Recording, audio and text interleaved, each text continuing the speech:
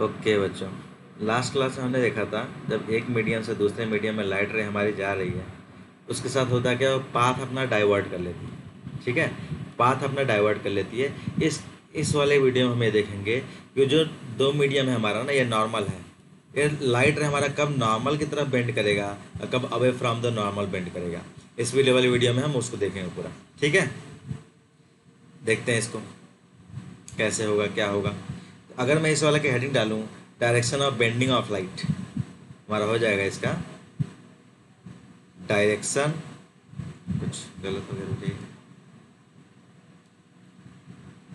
Face कर देते हैं। ये हमारा the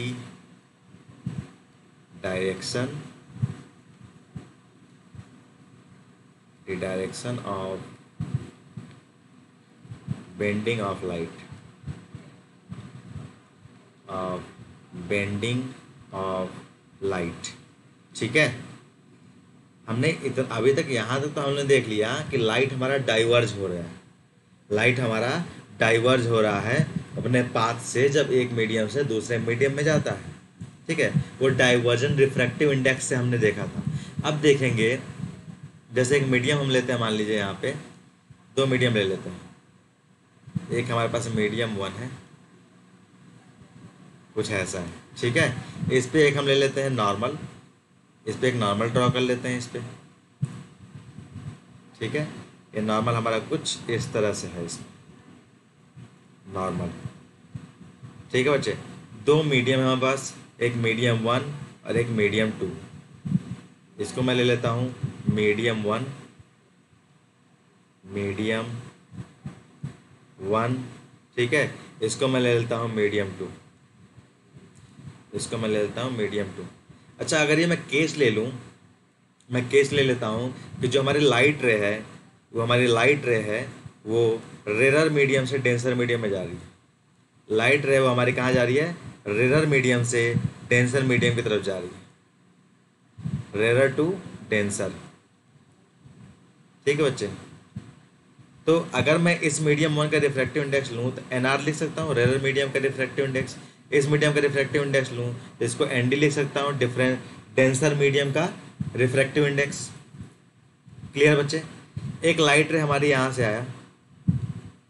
ये एंगल आई बना रहा है। एंगल आई बना रहा है। ठीक है? यहाँ से जो लाइट रे इमर्ज करेगा, यहाँ से जो लाइट रे इमर्ज करेगा, वो नॉर्मल से कौन सा एंगल बनाएगा? नॉर्मल से कौन सा एंगल बनाएगा? आर बनाएगा। ठीक है? तो आर हमारा क्या है? रिफ्रैक्टेड जो ये आर बनेगा रिफ्रैक्टेड रे से जो एंगल बनेगा, हमारा नॉर्मल से वो बनेगा। रिफ्रैक्टेड एंगल रिफ्रैक्टेड एंगल कोई डाउट यहाँ तक?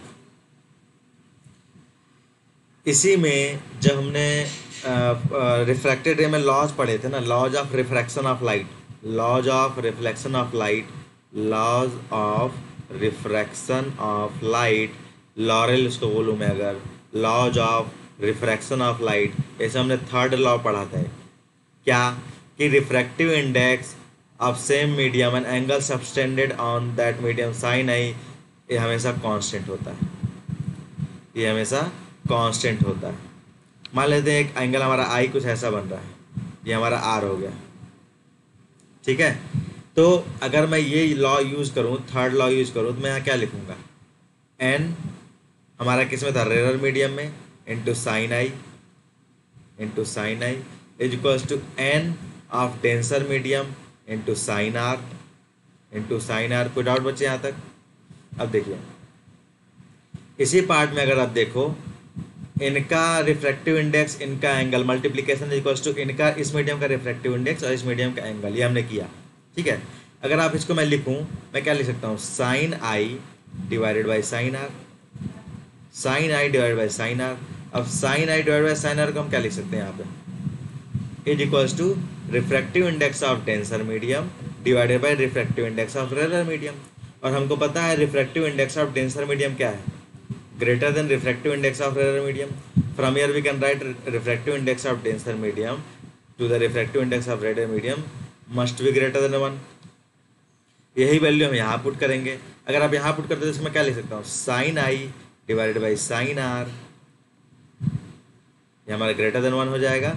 यहाँ से हम क्या लिख देंगे? Sine I greater than sine R और अगर मैं साइन हटा दूँ, यानी साइन एंगल में हटा देता हूँ तो केवल एंगल आई जो है हमारा ग्रेटर देन एंगल आर के हो जाएगा। यानी जो हमारा जब लाइट रेरर मीडियम से डेंसर मीडियम में जाएगा इन दैट केस ये जो आई एंगल है, इस आई एंगल से ये जो रिफ्रैक्टेड एंगल है छोटा होगा।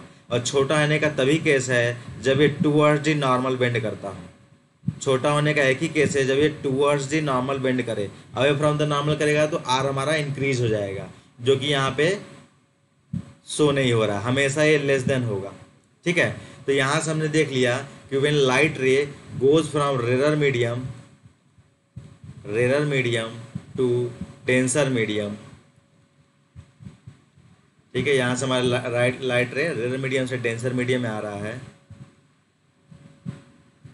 तो आपने देखा, जो एंगल ऑफ़ इंसिडेंस है, वो must be greater than angle of refracted light जो हमारा रिफ्रैक्शन से जो लाइट बन रहा है। तो यहाँ से देख लेंगे कि light ray bends towards the normal light ray bend bend towards bend towards the normal. ठीक है? कोई डाउट यहाँ पे?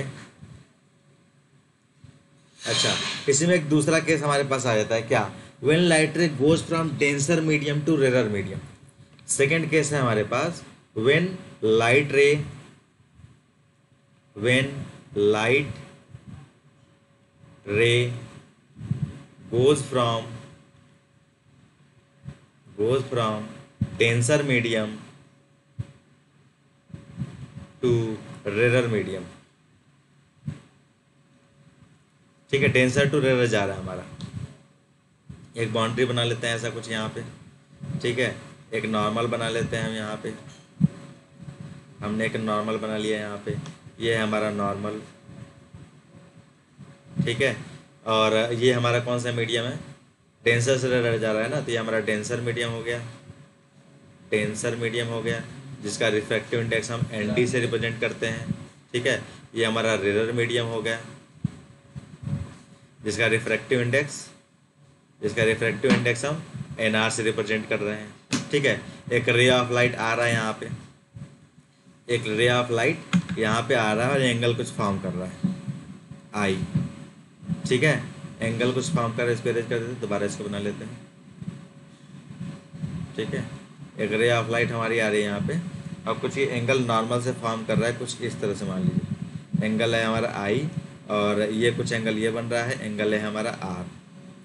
Again by using third law of refraction refraction का थर्ड लॉ क्या है? N into sine I is equals to constant किसने दिया है? इसने, उसने दिया। 1621 में वो जब एक्सपेरिमेंट करते हुए उन्होंने इन चीज़ों को प्रूव किया। ठीक है? यहाँ पे देखिए। इस मीडियम के अपना हम अलग रिफ्रैक्टेड एंगल रिफ्रैक्टिव इंडेक्स और एंगल का मल्टीप्लिकेशन करेंगे as equal to refractive index और एंगल का मल्टीप्लिकेशन करेंगे। ठीक है? अब देखिए। तो फ़र्स्ट मीडियम का क्या था? Refractive index of denser medium multiplied by sine I is equals to refractive index of rarer medium multiplied by sine R यहाँ से अगर आप लिखो तो sine I divided by sine R तो यहाँ पे आपका आ जाएगा एन आर यानी refractive index of rarer medium divided by refractive index of denser medium हम लोग को पता है कि refractive index of rarer medium क्या है? Less than refractive index of denser medium है। तो यहाँ से आप कवर करोगे? N refractive index of rarer medium to the refractive index of denser medium should be less than one और यही चीज़ हम यहाँ पुट कर देंगे।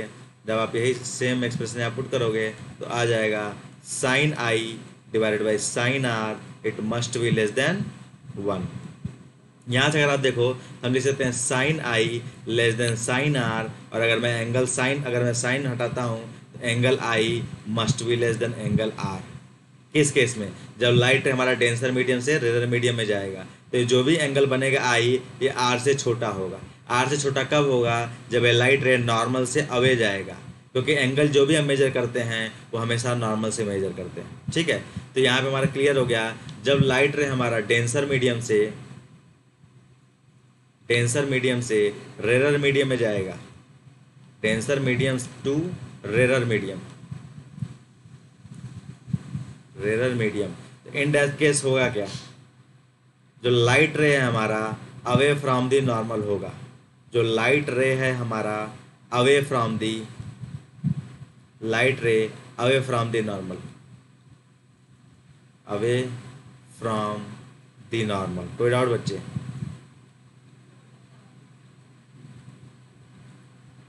ठीक है? तो बेंडिंग ऑफ़ लाइट हमने देख लिया कि जब रेरर टू डेंसर जाएगा लाइट और डेंसर टू रेरर जब जाए लाइट जाएगा, उस केस में क्या होगा? किधर लाइट बेंड करेगा, या हमको रिफ्लेक्शन में जो थर्ड लॉ है n into sine i Snell's law वो बताता है। ठीक है बच्चे? आज की इस क्लास में बस इतना करते हैं, बाकी नेक्स्ट क्लास में मिलते हैं। और सबसे लास्ट में जो सबसे इम्पोर्टेंट है, क्या है वो? जय हिंद एवरीवन ठीक है? नेक्स्ट क्लास में मिलते हैं, पूरी एनर्जी के साथ।